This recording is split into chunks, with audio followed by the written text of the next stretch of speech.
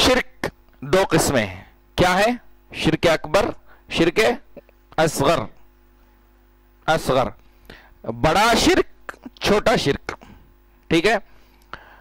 शिरक अकबर का मैंने डेफिनेशन आपके सामने अभी रखा था। अल्लाह की इबादतों में, उसके कामों में असमा और सिफात में अल्लाह के साथ किसी को शरीक ठहराना यह शिरक कहलाता है। शरीक ठहराना अल्लाह के बराबर करना। या अल्लाह रबुल्ज़त खालिक है। अल्लाह कायनात को चलाने वाला है। कायनात को चलाने वाला है। बारिश बरसाने वाला कौन? अल्लाह। अगर कोई इंसान ये बोला, देखिए तारा इधर से इधर आ गया, आज पक्का बारिश होती। कई को ये तारे की वजह से। तो गलत। उसने अल्लाह बारिश बरसाने वाला है, उसका काम किसी और की तरफ़ डाल दिया। उतनी दूर जाना को मोटी मिसाल देता हूँ मैं मोटी मिसाल देता हूँ शिरक। आम हमारी जबानों में। क्या तुम्हें नहीं रहते तो आज मेरा बच्चा मर जाता था। बोलते नहीं बोलते। अक्सर घरों में ये चीज़। है उन्होंने थे कर को बचा लिए, नहीं तो मेरा बच्चा चले जाता था। बोलते नहीं बोलते जुमला। सारी जबानों पर है ये। बचाने वाला कौन?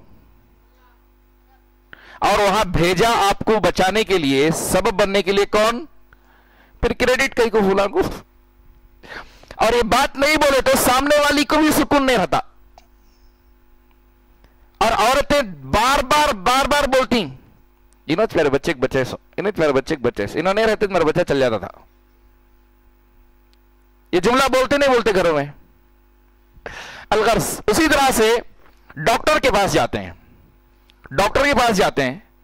डॉक्टरों का किस्सा ऐसा है, जिसकी चल गई, निकल गई उसकी। जिसका चल गया चल गया।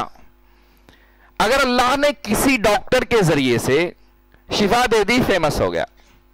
सबसे फ़ेमस डॉक्टर उन्हें उसके हाथ में शिफा है सो उन्होंने डॉक्टर, क्या पड़कोएँगी उन्हों? है कहते तो उन्हें देखो डॉक्टर। उसके हाथ में छह बोलते हैं। ये नौजबिल्ला असबाब को असबाब को अल्लाह की तरफ़ लौटाना चाहिए कि शिफा देने वाला अल्लाह है। डॉक्टर एक मुजरद एक ज़रिया है जो आपको दवाई की रहनुमाई करता है। ठीक है? तो लिहाजा इसबाब को इसबाब को असल मालिक की तरफ़ लौटाना चाहिए। अलगर